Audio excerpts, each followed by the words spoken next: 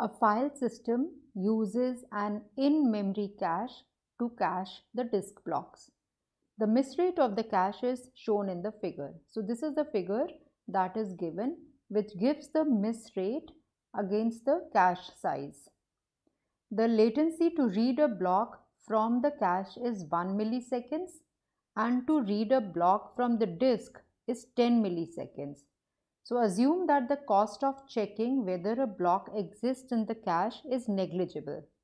Available cache sizes are in multiples of 10, 10 megabytes and the smallest cache size required to ensure an average read latency of less than 6 milliseconds is how many megabytes. So we have to find that cache size such that the average read latency is less than 6 milliseconds and we know that the cache sizes are available in multiples of 10 megabyte. So we let us assume that the miss rate is m. That means the hit rate would be 1 minus m. So miss rate is when the required block is not found in the cache and hit is when the required cache block Uh, required block is available in the cache. So for a hit, that means the block was found in the cache and the read latency from the cache is 1 millisecond. It's given over here.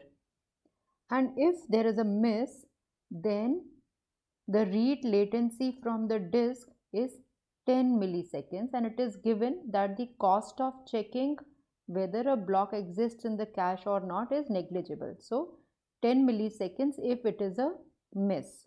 Now we require a read latency of 6 milliseconds.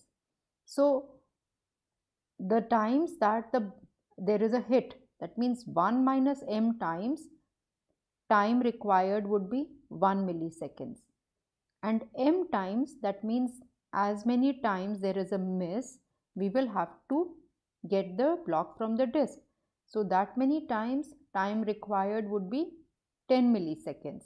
So if this has to be, this total has to be less than or equal to 6 because we require a read latency of 6 milliseconds.